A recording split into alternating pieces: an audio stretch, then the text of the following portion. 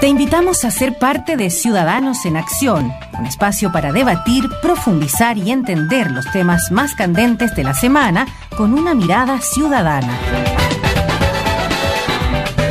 Aquí comienza Ciudadanos en Acción. Muy buenas tardes, estamos en Radio Tierra. Esto es Ciudadanos en Acción, un programa de la Asociación Chilena de ONGs Acción y estamos eh, hoy día 12 del 12 del 12 era el famoso día que se acaba, no sé, bueno, los tontos días que se acaba el mundo, una apariencia, pero no pasó nada. Según los matinales, el 21, pero etcétera. Estamos eh, con Jorge Pirincho Navarrete, para distinguirlo de su padre, no dice Jorge Navarrete, ¿cuál de Jorge Navarrete? Y estamos esperando a Marco Enrique Minami que viene en camino, pero está bien, está el taco seguramente aquí en el sector. Pirincho, bienvenido al programa. Muchas gracias a Radio Tierra, a ti Ignacio por la invitación y encantado.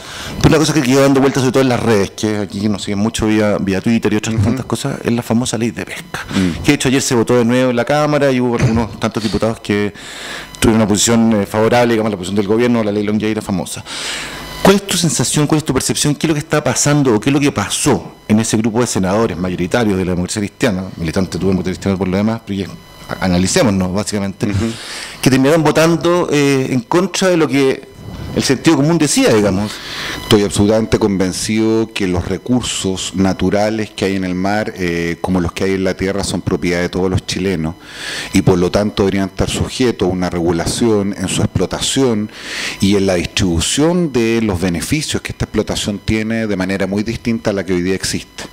Teníamos una ley que, como todos saben, eh, se aprobó el año 91, que expira el 31 de diciembre y por lo tanto probablemente también la premura conspiró a haber tenido un debate eh, más racional respecto a esta cuestión, porque en los hechos se le está reconociendo un derecho histórico a siete familias, representadas básicamente en cuatro empresas, que han explotado de manera no necesariamente sustentable, pero sobre todo en condiciones de privilegio frente a otros posibles competidores. Y a mí lo que más me extraña es que siendo la derecha y particularmente un sector de esta misma eh, tan fanática del emprendimiento, la libre competencia, que los guadipolas del mercado esta vez lo que básicamente establecieron a través de un lobby eh, francamente impresionante, como el que probablemente solo hemos visto en televisión digital, barreras de entrada, que impidieron eh, que un grupo importante de otras empresas y personas que decidiera participar pudiera efectivamente competir.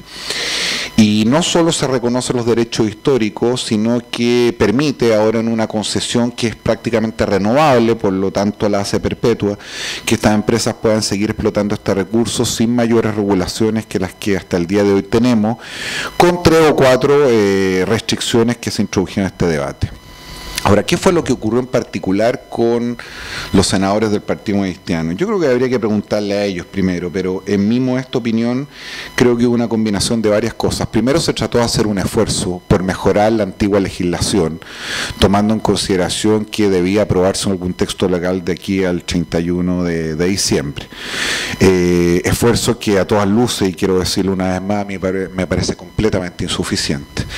Y segundo, efectivamente hay un manto de duda, no respecto de los demócratas cristianos, sino que en general de la clase política, eh, en cuanto se trata de empresas grandes que como tantas otras participan del financiamiento de las campañas y sin embargo este es un país que más allá de todo lo que hemos reclamado no tiene eh, dispositivos que permitan a los ciudadanos conocer fehacientemente cuáles son las empresas y personas que aportan dinero a las campañas y por lo tanto cuáles son los intereses y restricciones que esos parlamentarios deberían tener de cara a las decisiones y a los debates que tiene el Parlamento. Y, y, finalmente con esta votación eh, no pone en duda, crees tú, finalmente lo que va a ocurrir en ese próximo gobierno cuando lo que necesitamos son justamente esos votos y otros para poder hacer los cambios que día está solicitando la ciudadanía? No, no sé qué. Me encantaría responderte que sí, fíjate que lo pone en duda, porque creo que eh, si hay alguna razón que justifica que personas, que partidos conformen una coalición común y que tengan la legítima aspiración de llegar al poder para transformar, ojalá, la vida de las personas que están en una situación objetivamente injusta, si hay una justificación para aquello, es compartir convicciones políticas comunes en el marco de una orientación filosófica, ideológica eh, relativamente clara. Y eso a mí me parece que no existe en la concertación, no ahora, hace mucho tiempo. Eh, y tiene también que ver con su historia. Esta fue una coalición que conjugó y combinó un conjunto de orientaciones filosóficas, tradiciones y personas de la más diversa naturaleza con el objetivo primordial y más importante que era recuperar la democracia y dotar a este país de mayores grados de justicia social. Y en la medida que esos objetivos se fueron cumpliendo, estas diferencias se fueron manifestando. Ahora, ¿por qué te digo que me encantaría decirte que sí? Porque tengo la impresión de que así todo no va a ocurrir eh, que este ni cualquier otra diferencia sea lo suficientemente fuerte para evitar eh, la aspiración de en forma conjunta llegar al poder porque creo que desgraciadamente ese es el aliciente hoy día más importante. El poder. Absolutamente. Si uno ve el track de no solo la concertación en general de la oposición, desde la derrota electoral a la fecha, eh, ve demasiados esfuerzos tácticos eh, y estratégicos para organizar la vuelta a la moneda y no se ha respondido, a mi juicio, la pregunta fundamental y más importante que es ¿para qué?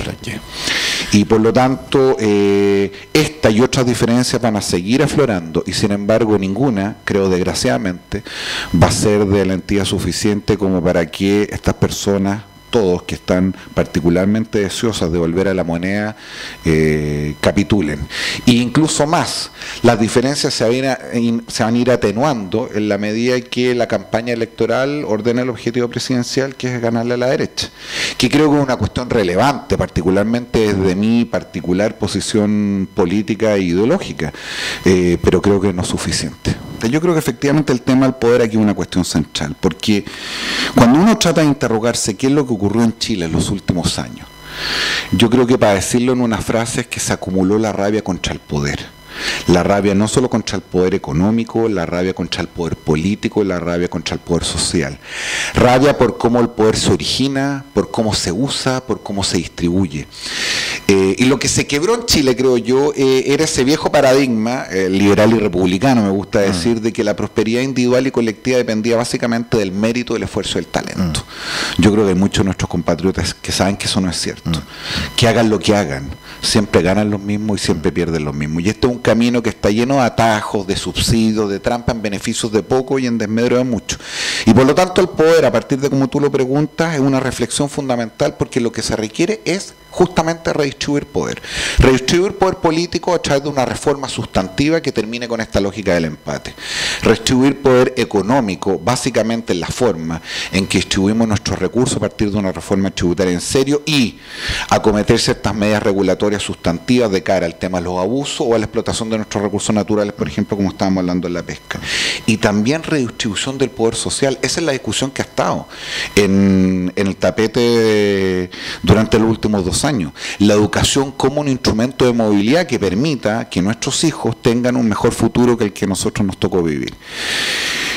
Probablemente hay más cosas, pero si uno tuviera que decir cuál es el núcleo fundamental de un gobierno progresista, entendiendo por progresista aquellas personas que creemos que las sociedades no son realidades naturales, mm. sino que son construcciones sociales y que mediante el esfuerzo colectivo es posible modificar la situación de personas que viven situaciones objetivamente injustas, eh, más allá, te insisto, de otras cuestiones, creo que en esas tres está eh, el título de la canción mm. eh, para lo fundamental que hay que hacer eh, los próximos años. Ahora, empiezan las dificultades. ¿Qué reforma política? ¿Es una asamblea constituyente por una nueva constitución o un esfuerzo solo?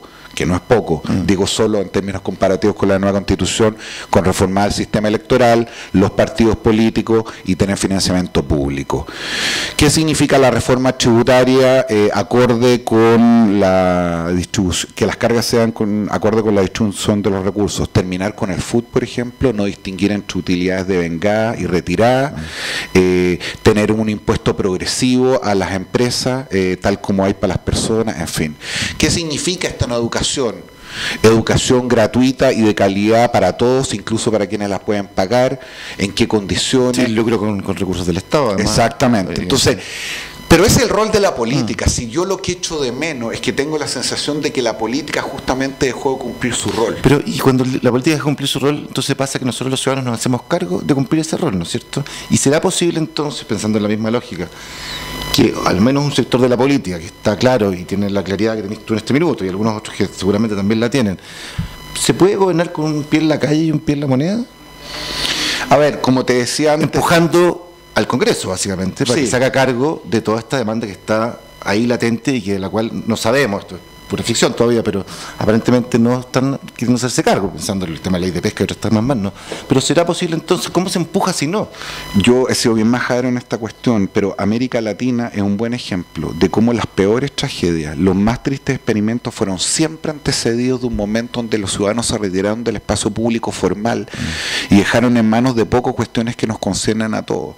La crisis de la política solo se va a corregir con mejor política y eso, confieso, no soy muy amigo de los símiles entre la política y el mercado, pero estoy mm. convencido que lo que tiene destruida nuestra política es la falta de competencia. Mm. Nosotros tenemos que introducir mayores niveles de competencia para que efectivamente tengamos más alternativas. Las primarias son una idea interesante en ese sentido, pero necesitamos un sistema electoral proporcional, necesitamos financiamiento público para que las lucas dejen de jugar el rol decisivo que hoy día juegan. total transparencia además en el tema, porque se supone que hoy día hay grado de transparencia, pero lo cierto es que... Nada, es una chacota, pero también requerimos contrario a lo que dice el presidente del partido donde yo milito, requerimos introducir mecanismos de participación directa de los ciudadanos en la democracia representativa. Mm. Soy amigo del plebiscito, mm. soy amigo de los presupuestos participativos y hacer una combinación que permita eh, tener una oferta de mejor calidad.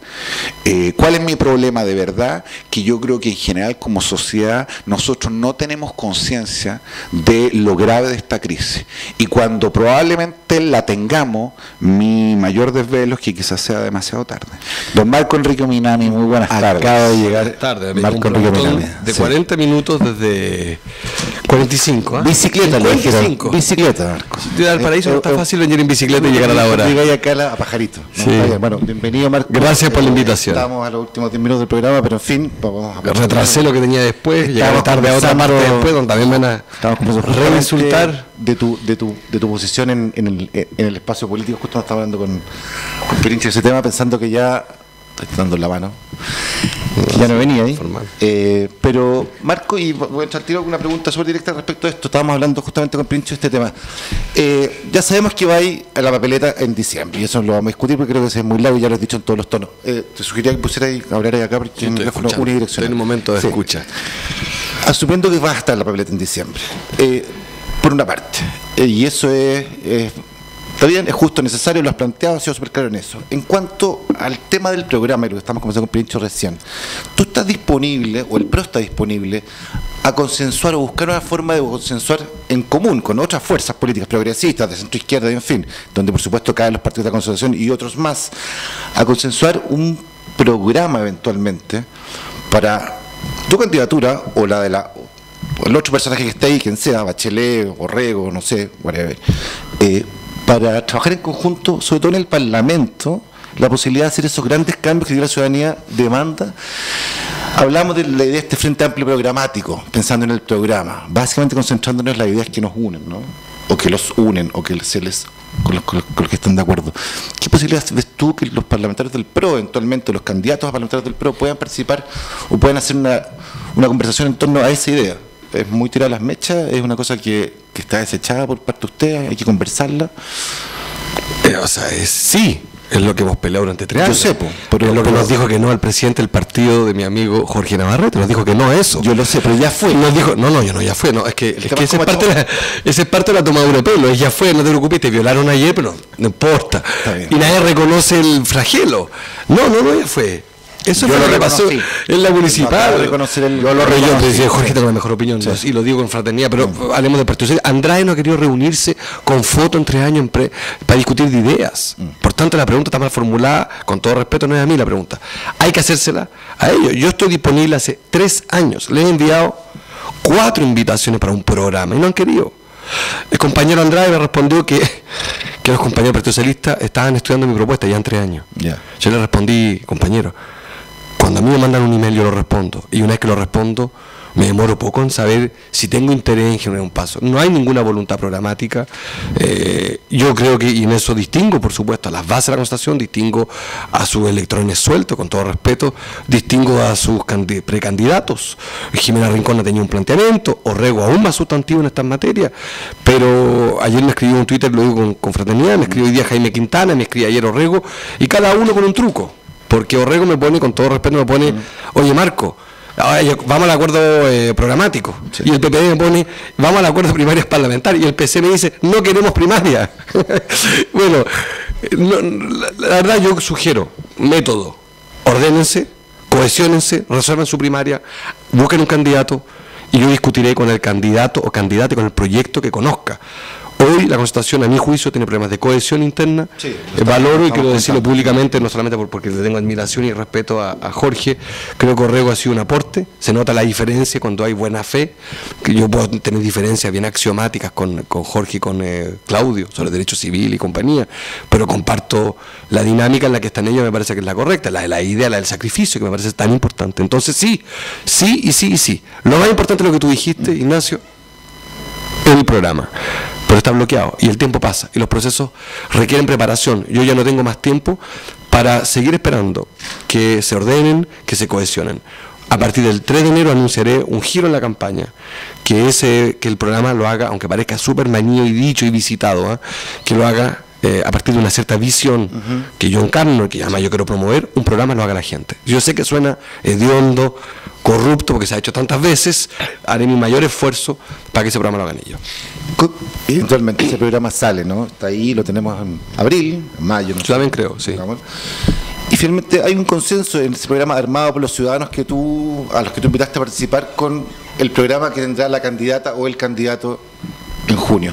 Pensando en esta idea como de bien superior, ¿no? pensando en que estas demandas están, finalmente te, dijeron en el programa la gente que participó en este proyecto contigo, digamos, en, cuanto a estructura del programa, que sí, que había que hacer una serie de cosas que son, y ya sabemos más o menos, hablamos unas cuatro o cinco cosas acá con Pirincho, pero, pero, probablemente consensuemos que el tema de educación, el tema de reforma tributaria, el tema de reformas políticas, el tema de reforma laboral, otros temas más, en fin.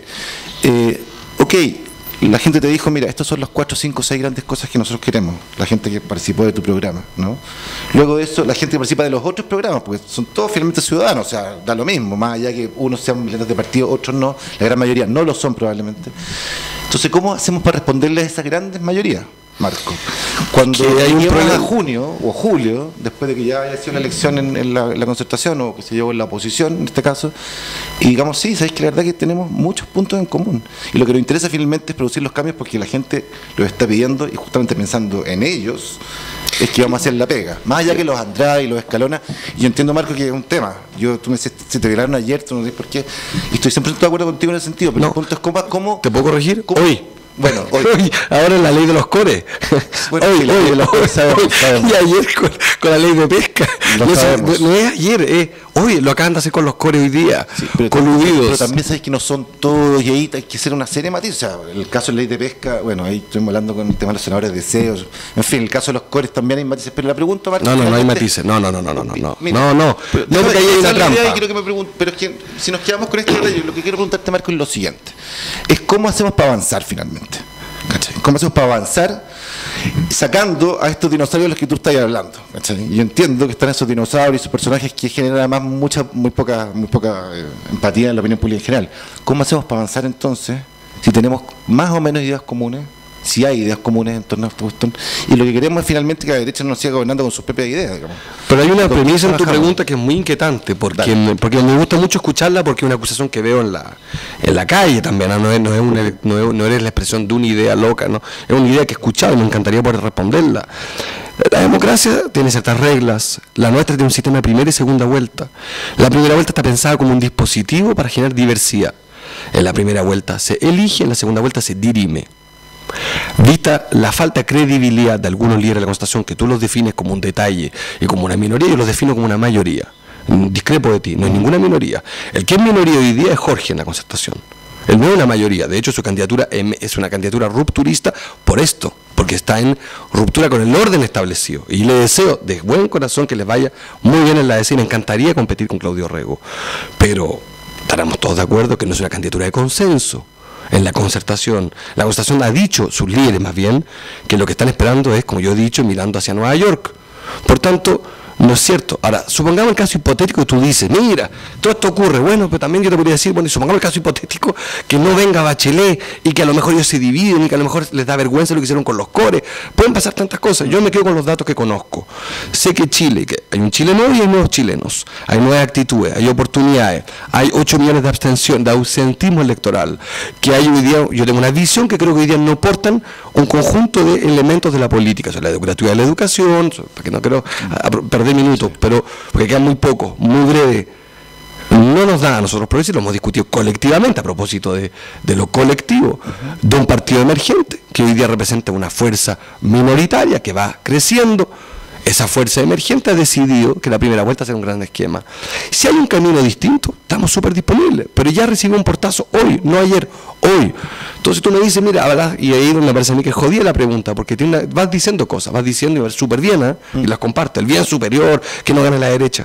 A la derecha se le derrota. No la derecha, sino que finalmente este modelo que está instalado. El 2009 no quisieron derrotar a la derecha objetivamente, mm. y terminó ganando la derecha. Yo ahí tengo una discusión de interpretación de pasado sobre el futuro. La derecha se la derrota con un programa, con una convicción, con forma y fondo. No veo hoy día la ley de core ningún cambio. Que existan tres, cuatro diputados rebeldes, encantado pero han pasado 23 años para que esos diputados rebeldes rompan con esa dinámica. Yo rompí el 2009, con una decisión criticable. No pocos rompimos ya. Los que se siguen quedando adentro y siguen pasándole el tren encima y dicen, ups, que yo en realidad no estoy de acuerdo con la ley de pesca, pero tampoco. Bueno, ¿cuál es el punto de límite? Yo creo que la Constitución no ha fijado cuál es su línea de flotación. Lo ha dicho Enrique Correa, lo ha dicho Walker y lo ha dicho finalmente Escalona. Ellos creen que su punto es no cambiar las cosas.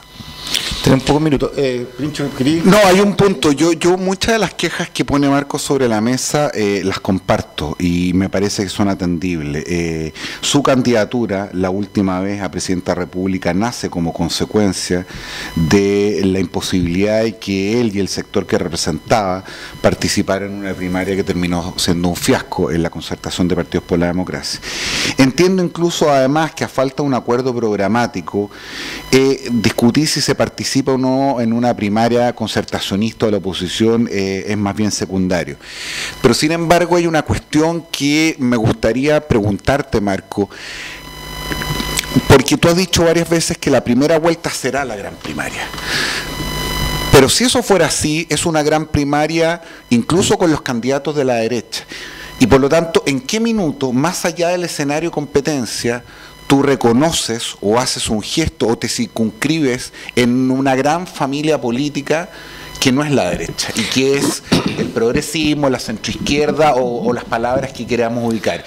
¿Es a partir de un ejercicio posterior a la primera vuelta o, eh, o es más bien tu diagnóstico que frente a la imposibilidad de conjugar eh, o pertenecer o ser parte de un conglomerado con quienes compartiste tantos años, finalmente tomas una decisión de radicar definitivamente pensando que con ellos nunca más a ninguna parte. Mm, hace poco, Santiago Centro, no sé si lo ubican, mm. hubo un candidato a Salaquete y una candidata, nos omitimos para que triunfara Carolina Toa. Nos omitimos en 180 comunas. ¿En cuántas comunas se omitieron ustedes, favor nuestro? O sea, quiero decir que, Pirincho, porque esto es una conversación, no es un debate, mi domicilio es uno solo, el de progresismo. Eso tiene un domicilio incluso a nivel internacional, es un código de barras. Ahora, cuando responde a la primera vuelta sobre la gran primaria es respecto de ustedes, justamente, diciéndole, mira, como no quieren primarias, porque son ustedes los que no quieren. Si las cosas seamos súper claros, negro sobre blanco. Que, que, que, el día Pancho Vidal diga que sí quiere, pero que en realidad Guido diga que no, y que también Teler diga que no, pero que algunos sí. Así no se puede. Ustedes le ofrecen qué al país. Gobernabilidad no lo ofrecen ni siquiera ahora. Porque entre ustedes mismos dicen cosas completamente contradictorias. Dicen sí a las primarias, pero no a las parlamentarias. Y eso ocurre el mismo día, en la misma sala, a la misma hora. No dan paz ni gobernabilidad. Ya, de acuerdo, pero ustedes, mucha gente, si, quienes van a participar de la primaria de la oposición el 30 de junio, según ha dispuesto la ley, colectiva eh, y en forma conjunta te invitaran y fuera unívoca y transparente. Yo, eh, yo lo he respondido mil veces, mm. pero lo hago de nuevo por, por, por respeto a los auditores. Lo he respondido en todos los medios, lo hago de nuevo. Hemos pedido tres condiciones para primaria, un programa y ya han dicho que no. Hemos pedido primarias parlamentarias y el Partido Comunista ha dicho que no. La DC ha dicho que no. El PPD ha dicho donde sea necesario. El Partido Socialista ha dicho que donde sea necesario. ¡Wow! Ya está respondido. O sea, lo respondieron ustedes. Y es una discusión muy tramposa para mí, porque fíjate que tengo que partir ahora. Pero estuve 10 minutos acá y me pasaron de primaria. Fui a TVN ayer, que me invitan una vez al año a TVN y hablé de primaria. Mm. La única posibilidad que tengo entonces es de pasar por maleducado para hablar de lo que nosotros entendemos por una alternativa distinta, expresar, darle densidad a eso, de fijar posición, de aprender de ustedes, de escuchar a los auditores. No, me paso en la trampa mortal, como si el monopolio de la moral lo tuviera la concertación. Como si no ir a primarias con la concertación es estar fuera de la órbita, mm. estar en la tradición, no estar dentro de Chile, no estar en el etos del alma de Chile. Es traicionar a Silva Enrique, a la Vicaría de la Solidaridad y a los derechos humanos. Basta. Basta, porque el país avanza, el mundo cambia, hay un indígena en Bolivia, un negro en Estados Unidos, los debates de asociación sobre la energía, y lo que nos quieren invitar algunos dirigentes es una especie de estrategia muy pilla de absorber sobre un monopolio de la moral inaceptable. La primera vuelta es una elección donde hay garantías para elegir. Eduardo Frey perdió por sus defectos. No estaba mi nombre en la segunda vuelta. No me busquen a mí como chivo expiatorio. No, sí, de hecho. Punto. En la municipal yo me emití en Santiago Centro como una simbólica. No escuché ningún dirigente concentracionista, ninguno. Ninguno reconociendo el gesto. No hubo reciprocidad alguno de ninguno de sus dirigentes. No sometieron ninguna comuna. La ADC que reclama disciplina. Compitió contra nosotros, coludía con la derecha en Calama. El Partido Socialista que reclama contra los Catapilcos, compitió contra el alcalde de Lota, contra nosotros, con coludidos con la UDI, y perdió el alcalde nuestro. Nosotros ganamos en Arica, en todas estas comunas, en doble ruptura, y lo hacemos sin llorar de acuerdo a la democracia. Funciona solo para un lado. Yo no le reconozco ninguna superioridad moral a la concertación. No son dueños de la derrota a la derecha.